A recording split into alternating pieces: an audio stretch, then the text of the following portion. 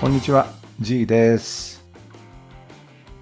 Ubuntu 20.10グルービーゴリラが公開されました。ラズベリーパイもサポートされてますね。アップデートする意味はあまりありませんが、最新のカーネルを試したいという方はゴリラに心を惹かれると思います。でもゴリラを導入してもゼロから設定のやり直しです。やってみるとこんな感じです。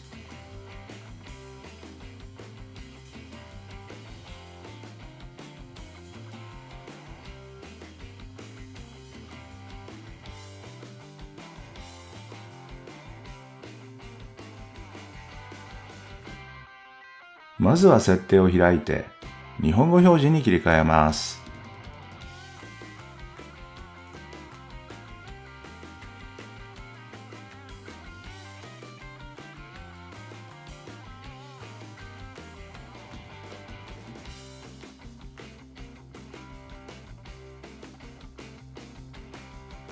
あれ？切り替わらないな。もう一度やってみます。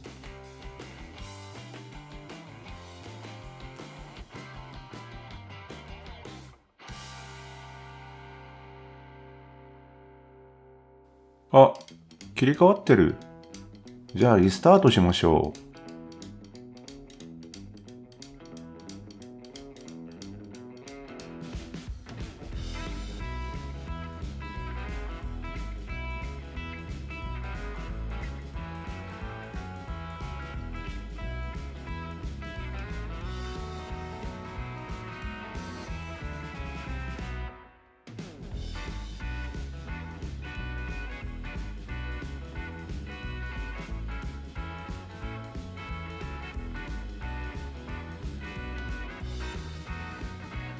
やっぱりちゃんと言語パック入れないと日本語にならないですね。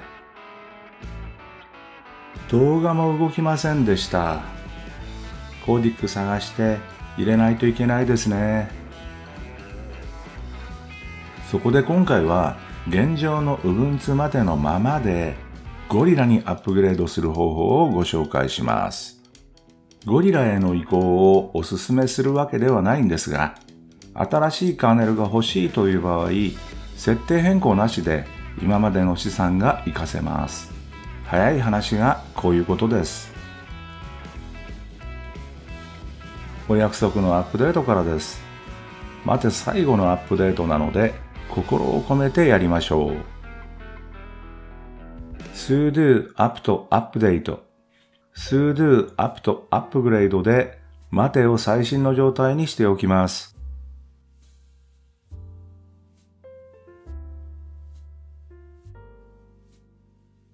アップグレードコマンドは1行だけです。sudo do release upgrade -d -m desktop とタイプします。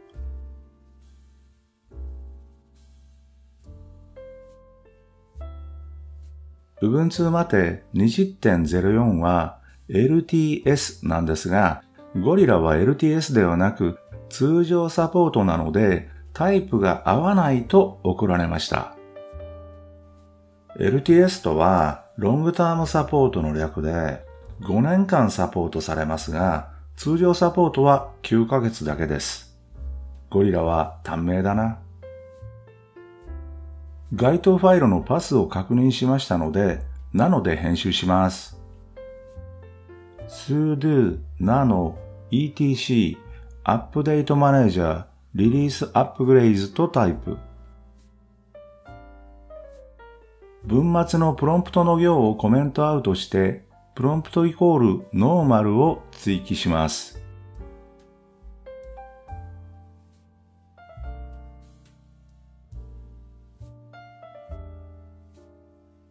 もう一度アップグレードのコマンドをタイプします。うまくいきましたね。アップグレードが始まりました。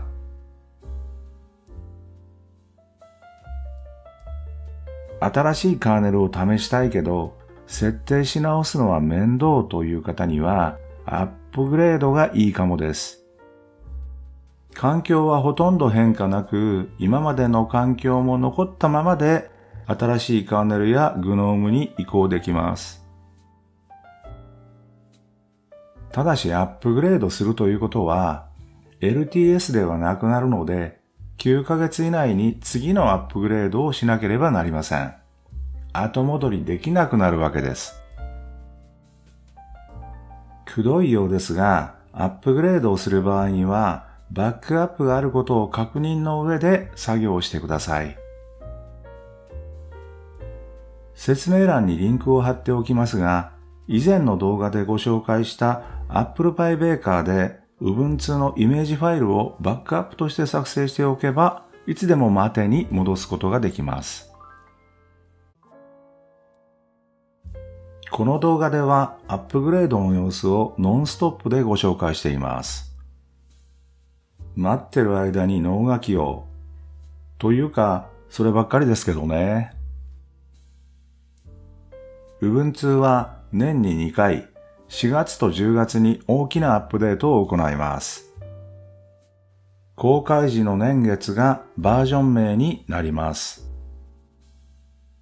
皆さんが大好きな Ubuntu までは20.04。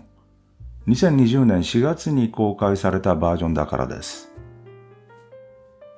だから次のバージョンは21.04になります。画面の URL で Ubuntu の各バージョンのサポートのタイムテーブルがご覧いただけます。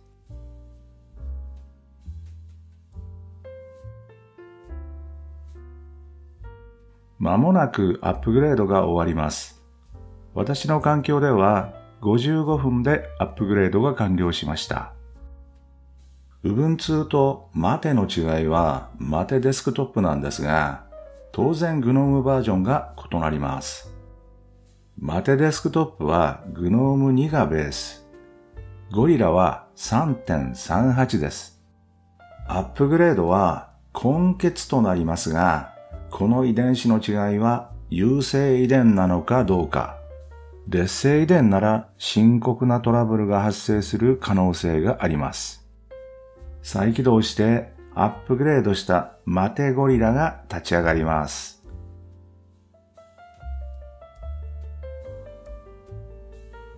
ご覧のようにメニューは何も変わりません。コントロールセンターも同じです。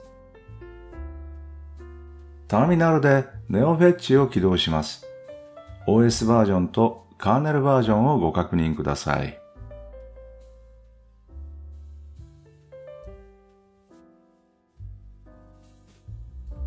GNOME バージョンもチェックしてみます。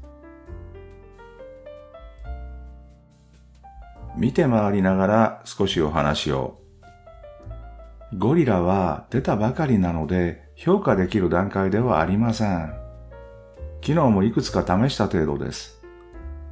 アップグレードした後、気がついたことがいくつかありますのでご紹介します。一つ目はデスクトップ右上のパネルアイコンの表示がおかしくなったので、一旦リセットして修正しました。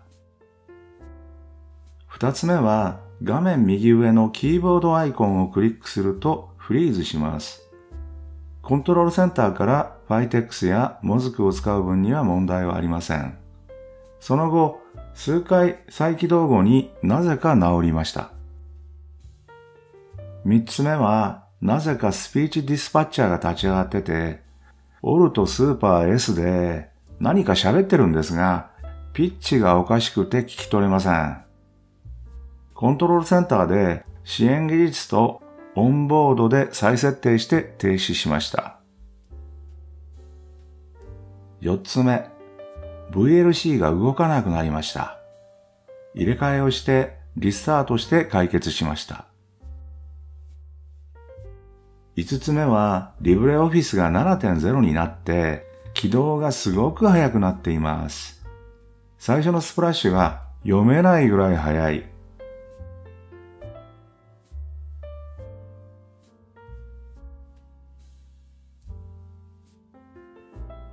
ご覧いただきありがとうございました。今回は訳あって急遽ゴリラ情報をお届けすることになりました。OS に限らず新しいものをすぐに欲しがるのは世の常、人の常です。でもそれで騙されることが多いこと。それでも欲しがるのは好奇心が旺盛なのかな？ああ、それで懲りずに中国製ばかり買ってるんか。ではまた次回。